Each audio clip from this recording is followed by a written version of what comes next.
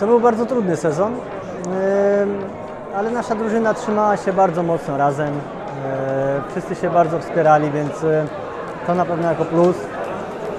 Czy- Oczywiście chcielibyśmy zaprezentować się lepiej jako obrońcy tytułu, no ale na tyle, na tyle było nas stać, więc e, już myślami jesteśmy przy przygotowaniach na kolejny sezon i wierzę, że, że w przyszłym sezonie pokażemy zdecydowanie inną siłę Bekardu Spartybrosa.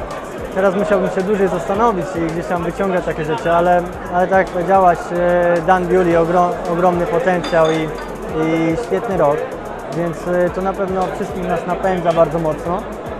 E, No i daje taką pozytywną nadzieję na, nad- na, na, na, na nadchodzący sezon.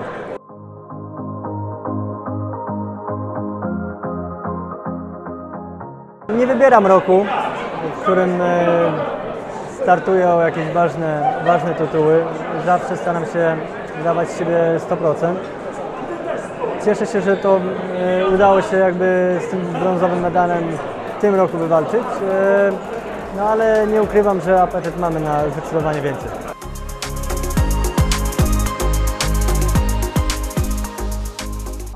Tutaj przede wszystkim spotykam się z kolegami. Normalnie jesteśmy ubrani e, w robocze ciuchy, a tutaj możemy razem e, celebrować ten sezon, który jest za nami, porozmawiać o pierdołach. E, No i dobrze się bawić przede wszystkim.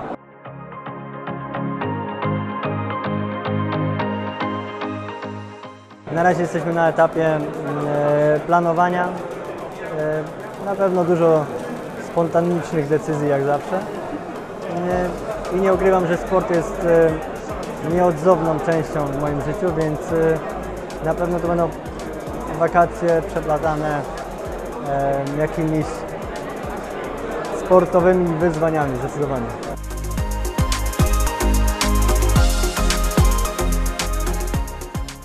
Niektórzy z nas jeszcze jeżdżą, więc na razie tego nie planujemy. Nie rozmawiamy o pracy dzisiaj. Raczej, raczej o, o takich jakichś prywatnych rzeczach i planach na, e, na nadcho- nadcho- nadchodzącą zimę.